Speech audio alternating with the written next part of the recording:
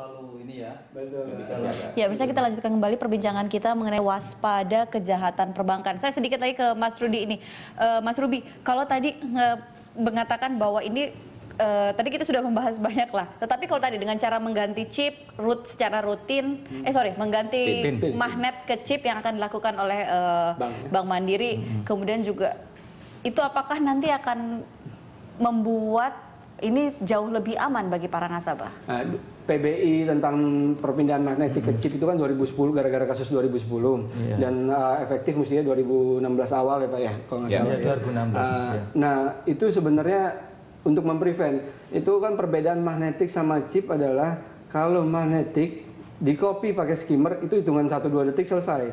Kalau chip uh, memang lebih sulit nggak bisa hitungan detik hitungan lama lah jadi memang jauh lebih secure daripada magnetik saat ini Tetapi tetap saja bisa di copy. bisa di copy ya tapi tidak akan secara masif separ- seperti uh, apa namanya skimmer Oke. masif dan secara mudah dan cepat ya dan Baik. Kalau dari OJK Pak, bagaimana caranya agar eh, OJK ini kan sebagai eh, otoritas jasa keuangan seperti itu yang tentunya membawahi bank uang juga Hmm. agar bank-bank yang ada di Indonesia ini membuat sistem sedemikian rupa dan bersama-sama gitu untuk eh, Iya. mencegah adanya tindakan kejahatan perbankan. Itu memang sudah kita atur ya Pak ya. Iya. Artinya 2016 bank harus menerapkan yang namanya menggunakan kartu chip. Walaupun masih sampai sekarang masih banyak bank yang Eh, ini transisi, in transition period. Jadi di 2016 semua bank harus sudah menggunakan eh, karena ini biayanya kan mahal, Mbak. Iya. Artinya biaya pengadaannya itu mahal. Tetapi selama transisi itu ya kolaborasi dan ini informasi ini kan terjadi juga karena eh, bank itu ada forum, Mbak.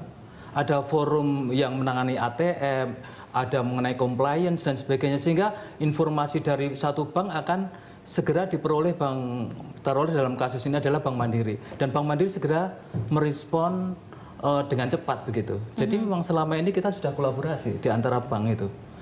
Eh, mungkin perkasan itu ada forumnya, mengenai KYC compliance juga ada. Itu saya kira memang bagian dari kolaborasi sebenarnya. Kalau dari Bank Mandiri sendiri, apalagi sebenarnya yang eh, dilakukan untuk mencegah ada terjadinya kejahatan perbankan? Eh, banyak hal yang bisa kita lakukan dan eh, yang pertama adalah kita harus menyadari bahwa makin banyak nasabah itu bertransaksi secara elektronik. Jadi dari industri perbankan kita juga sudah apa namanya ada tadi komunitasnya ada dari komunitas perbankan elektronik ini untuk saling share tadi kalau memang ada kejadian di satu bank dan bank lain seperti hal ini kita bisa saling share sehingga walaupun ini nampaknya dari mandiri saja tapi mungkin kita lihat juga secara per- perbankan itu efeknya bagaimana. Ya. Yang kedua adalah uh, tadi investasi di dalam hal uh, tools-tools untuk memonitor karena semuanya terjadinya real time. Jadi kejadian saat itu juga mulai dari ini. Apalagi nanti kalau sudah memasuki ke e-commerce. Jadi benar-benar uh, seperti mandiri ini kita invest jutaan dolar untuk melakukan apa namanya uh, mem- mem- mem- membangun alat untuk mendeteksi ini. Jadi berapa banyak yang sudah diselamatkan ini dengan Tapi kalau tadi katanya Mas Ruby kan daripada bangun bentengnya mendingan Ya, yang bisa kita lakukan itu. Kalau yang menyerang itu kami serahkan kepada kepolisian atau Iyalah. Jadi kita dari kacamata kita kita lihat apa yang bisa kita lakukan tadi. Kita investasi dari sisi mendeteksi seandainya terjadi fraud, kita secara proaktif bisa mendekline transaksi yang mencurigakan tersebut dan melakukan hal-hal yang perlu dilakukan. baik. Kalau tadi ada satu kata yang saya eh, kutip bahwa semakin banyak nasabah yang melakukan transaksi secara elektronik. Ya. Dengan kata lain itu juga membuka eh, peluang baru bagi orang yang ingin mengambil data, mengam- menyalahgunakan data-data nasabah. Kita nanti akan membahas lagi di segmen berikutnya bagaimana cara agar data nasabah ini bisa lebih aman lagi. Pemirsa kami akan segera kembali sesaat lagi.